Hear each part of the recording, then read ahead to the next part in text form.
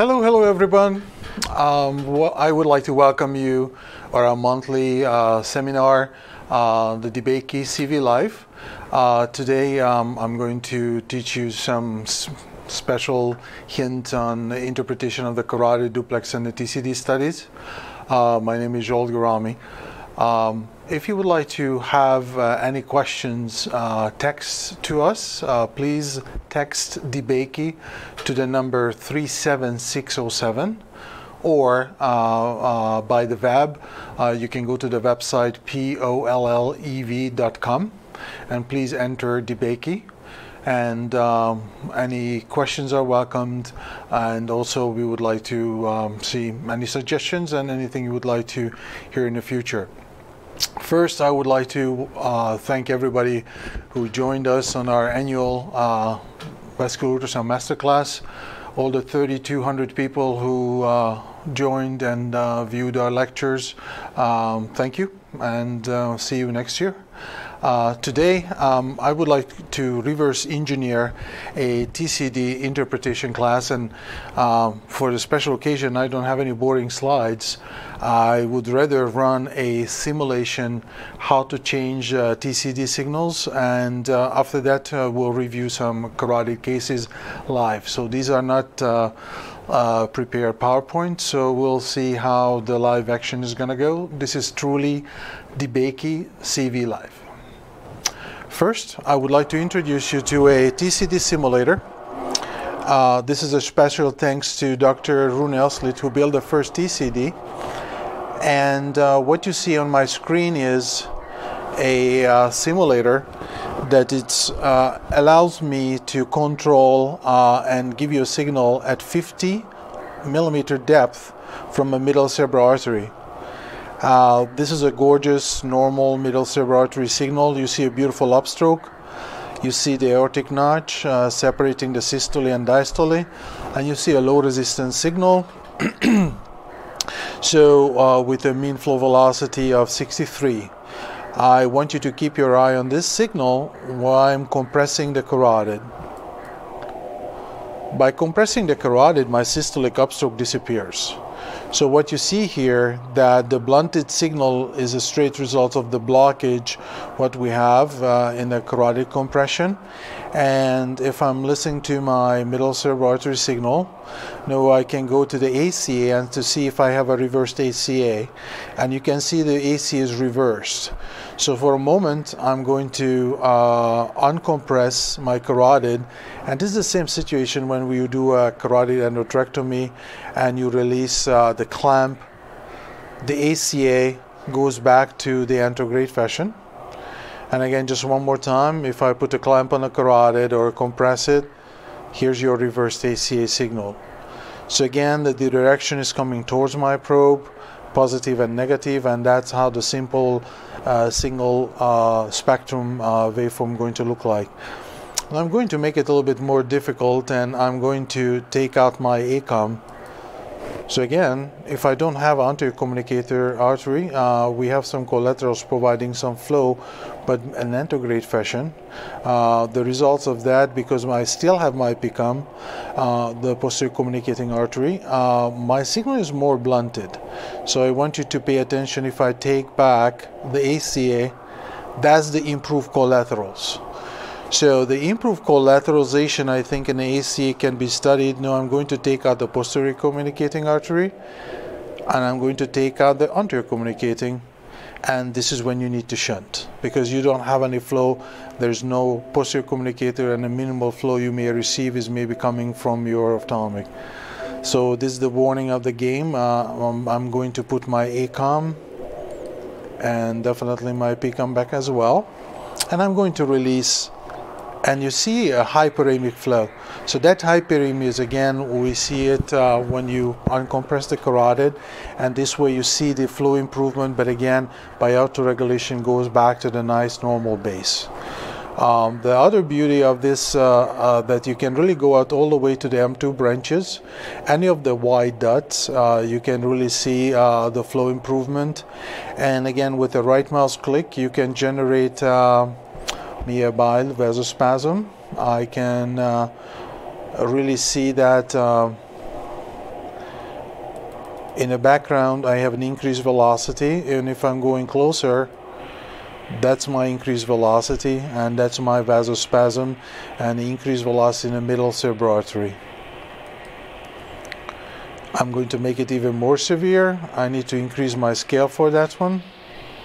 And you can hear the sound. So I think the one part of the simulator is really to see the waveform and study the waveforms, but also these sounds are real. When you sound, uh, that is the high pitch uh, stenotic sound. Um, again, uh, which means more than just uh, looking at the number alone. Um, going back to the normal flow. So this is your nice, calm, um, normal flow in the middle cerebral artery. Um, the other fun part um, I wanted to show you is how does it look like the vertebral now? This is my vertebral artery and uh, quite often we really don't notice those slight changes what you see on the vertebral artery. I'm insonating now um, at the depth uh, 53 and the signal is going away from my probe and right now I'm going to occlude my subclavian on the left side and what you see here I have a total reversal of flow now but with this reverse flow you see high resistance because the, this flow is going to feed the arm, no longer needs low resistance feeding the brain. And again, I'm just going to take out the occlusion and you're going to see a normal low resistance antegrade flow to the vertebral artery. If I'm going to uh, play the same here, I can do the 50% stenosis when you see the alternating flow pattern and uh, again, in systole, you already have a reverse flow pattern, but when you go to the 75% stenosis, you're really going to see uh, more spikes in a retrograde fashion, and this is just the incomplete steal. Um, and again, that tells you that the subclavian is still open. And the moment when you have a subclavian totally occluded, everything is retrograde and you don't have alternating flow anymore. So that's maybe another hint of uh, how you can interpret these studies. I am going to make it a normal flow now and this is your vertebral artery. And again the same uh, you can play as uh, changing the uh, depth for the basilar artery. And you can also mimic uh, any stenosis uh, we would like to see. And also I think uh, here's your occlusion signal. It's not as fancy. Um, I just want to show you one more signal here. This is your ophthalmic so when your ophthalmic artery is the only vessel when you see a high resistance pattern when your carotid is open. Now I'm going to occlude your carotid.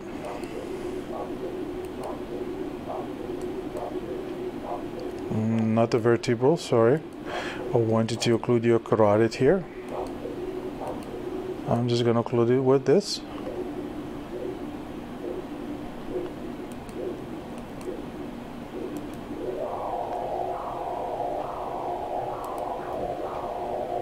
And now you see a retrograde ophthalmic artery because my carotid was occluded. So I think this is where uh, you can really practice how the antegrade high resistance ophthalmic artery changing to low resistance reverse ophthalmic artery. Again, it's not enough just the direction change, but you need to see uh, the resistance change as well. I am going to recanalize my carotid and the reverse ophthalmic as my collateral became uh, a normal antegrade ophthalmic with high resistance flow pattern.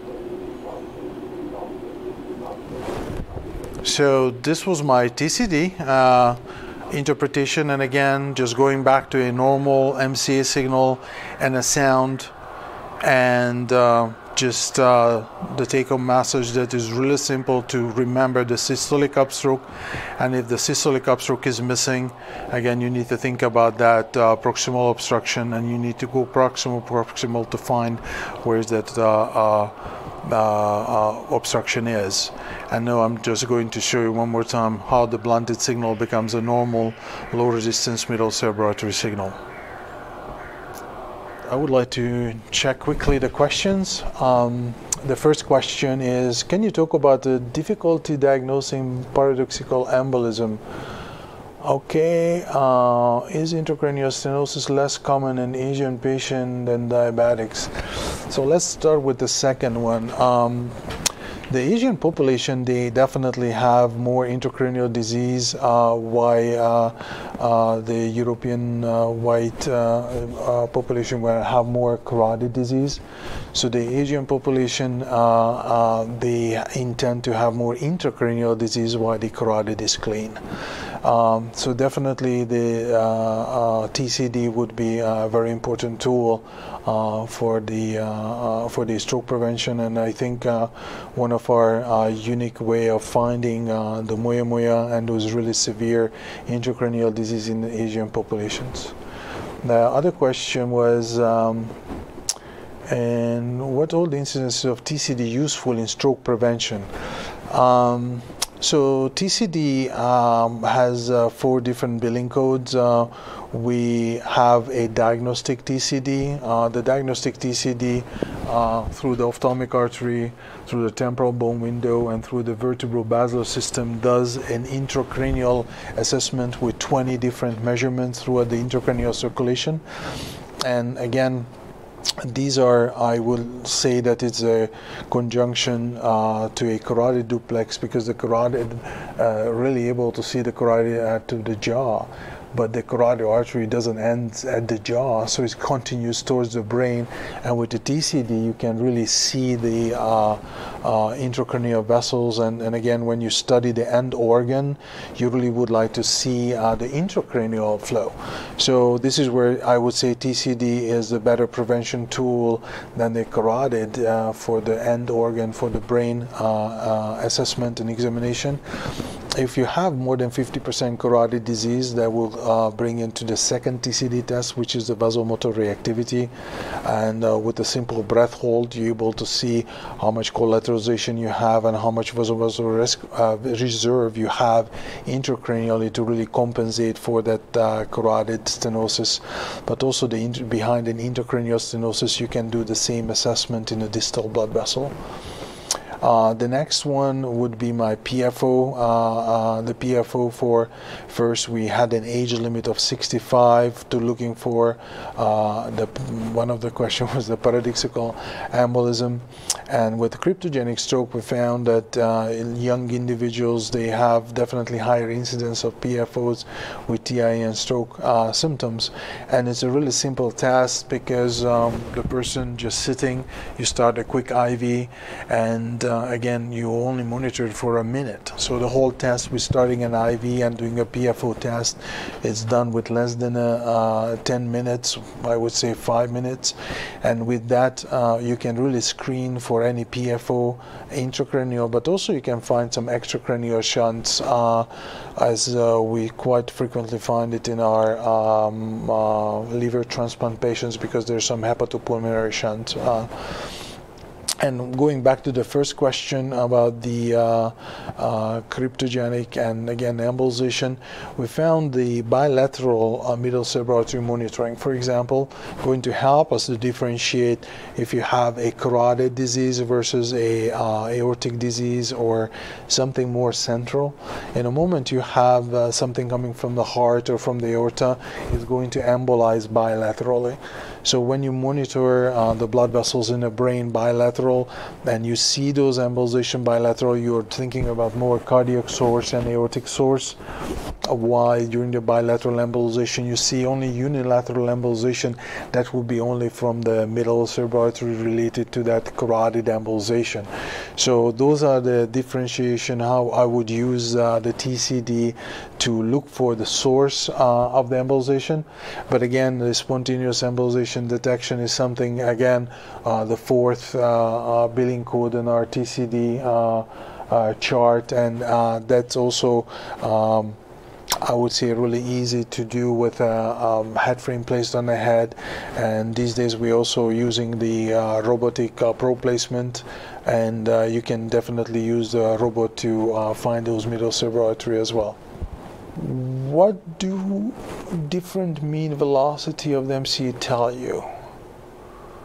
Uh, well, uh, the mean flow velocity in the MCA is normal uh, let's say, as your speed limit between 20 and 80. Uh, if you're younger, uh, if your patient is like younger, 30 to 40, uh, your endos, uh, the mean flow velocity would be on a higher end, so 70s. If you have an 80 years old patient, the mean normal mean flow velocity would be in the 30s and 40s. So I would say that there's a, a mean flow velocity we have a certain age limit that what's normal. Um, uh, usually we say that uh, the mean flow velocity for the mc is 50 plus minus 12 so that would be our normal range if you want to narrow it down for more uh, normal velocities uh, but what I wanted to emphasize that your mean flow velocity is normal, but the shape of the waveform changed. So when we played that we compress the common carotid artery, the internal carotid artery occlusion, you have a normal mean flow velocity, but your shape of the waveform is different. So you have to use the Pulsatility index as a second number to your mean flow velocities. You really see the value uh, of that MCA. So PI give you how much pulsatility you have. If you have uh, a post-stenotic MCA, that PI value is 0.6 or lower. If you have a pulsatility index uh, over 1.2, the same mean flow velocity means that the mean flow velocity is fine, but your pulsatility is increased and you may have a chronic hypertension or you may have an increased ICP. So the mean flow velocity is number one, uh, a focal velocity increase, what you're looking for in an MCA to confirm a vasospasm or a focal uh, narrowing of the middle cerebral artery. Um, and the third one, you're looking at the MCA velocity as a confirmation of any carotid disease. So those are the three function how I'm looking for the middle cerebral artery mean flow velocity. And I had the last one, when you have an MC obstruction, an M1, my mean flow velocity is definitely less than 20. So if I have a mean flow velocity significantly different between the two sides, again, I am looking for some hemispheric index, uh, let's say more than 40% difference. But if my mean flow velocity is less than 20, then um, I definitely think uh, we can uh, consider that uh, maybe uh, a distal obstruction in MCA. So I hope I answered your questions. If uh, not, please uh, ask a specific clarification that mean flow velocity. Can you talk about four acoustic windows? Four. So number four acoustic windows. Um, I'm suspicious that uh, you are picking something on the forehead, but uh, so we have uh, acoustic windows um, through the eye. This is my ophthalmic. I'm going to increase my power. Uh, the temporal uh, bone windows. Uh, this is um, again the best acoustic bone, window, and if you see, um, if you feel front of the ear, there's a dent and if you put your finger this is exactly like your fingerprint uh, able to get you the probably the best window. But anywhere between your eyes and the ear there's an acoustic uh, window that you can find the middle cerebral artery.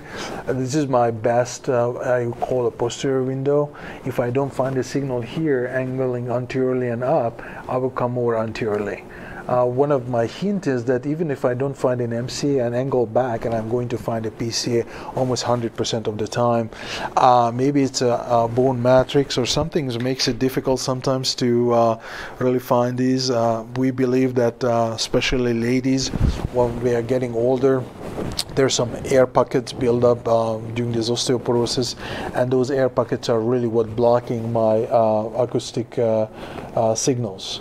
Um, my third one is uh, the vertebro-basilar, the suboccipital, or through the foramen magnum, I can see the vertebro-basilar. The fourth uh, is again underneath uh, the submandibular. This is a external uh, internal carotid artery. We use that for the vasospasm uh, uh, um, index because the Lindegaard ratio is the highest velocity of MCA divided by the submandibular ICA. So this is your fourth acoustic window, but I'm really not counting as acoustic window. If you really want a fourth acoustic window, is basically a forehead. The especially young kids, uh, you can just put a probe and you're able to see uh, through the uh, uh, frontal lobe as well. Um, the next question In your many years of experience, can you give one example of common mistake to watch out for? Ooh, yes. Um, if I can switch really fast and can you don't show my laptop yet I need to go out uh, really fast to uh, because I do have a beautiful slideshow for my mistakes and uh, just give me a second and I am going to proudly show one of my favorite mistake uh, okay you can show my laptop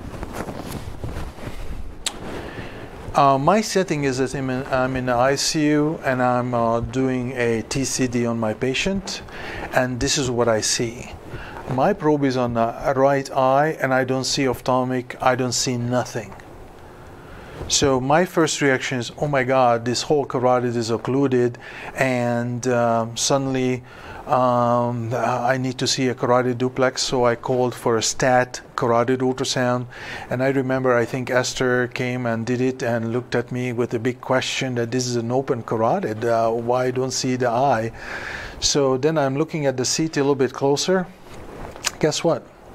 There's an artificial uh, glass eye on that side. So again, my signal, and I would say it's not common, I did it once and I learned from it, that you cannot insonate uh, through an, a um, glass eye because you're going to, um, again, uh, not see anything, but it doesn't mean that this carotid is occluded. So this is uh, one of my favorite mistake, I have to admit and uh, this is I think uh, uh, another Esther special. So what you see is uh, through the eye a right siphon give me a mean flow velocity of 140 so your probe um, is on the eyeball. Can you show my uh, hand please on the camera? So basically your probe is uh, on the patient closed eyelid and the probe is insonating the eye and you see the 140 and you say this is a siphon uh, by the depth of 65 and this is a siphon stenosis. So you look at your MR and say hmm the siphon doesn't have a stenosis but the MCA does. And through the eye if you are not insonating with a 15 degree angle but you're going straight you have a beautiful middle cerebral artery so again, this is one more thing uh, to consider insonation if you can get it through the temporal bone window. But this is another beauty of uh, um, how the direction of the probe can mistakenly identify a different vessel. We got lucky because in this case we identified the stenosis, but you misidentified the vessel. Uh, so I think uh, this is uh, my second one and uh, let me see if I have more common mistake for you. I think uh, I have to admit one more. I think the vertebral basilar system. So when you look at the vertebral basilar system uh, you uh, are insonating uh, uh, very very close the two vertebral arteries. Mm -hmm. So let's say that your probe is in the suboccipital area and you're insonating the vertebral and you see an extremely high stenosis and uh, you assume that it's coming from this side. Distal, you, I did not change the scale, so you really appreciate that this mean flow velocity from end diastolic of 200 drops to that tiny small flow. So with this drop to that tiny flow pattern, you assume that this is the same side. So I think that's the problem when you're sampling with these nine, um, or this one is uh, three millimeters, but the size of the vessels are also like really tiny, two, three millimeters. So you can cross-insonate because these two vertebrals are so close here, especially at the intracranial portion, that you can misidentify one vertebral versus other vertebral. So if the TCD does that mistake, um, I would definitely see that uh, you, I would prefer use a duplex for this case. So the duplex kind of give me both vertebral on one shot. So the du uh, duplex uh, give you my stenosis in this area, and you see that is where exactly extracranial vertebral turns around and the skull entrance. That is where you see that uh, flow disturbance, and this is a dilated part right there and the increased velocity is the same. What you saw on the TCD confirmed end-diastolic is 200.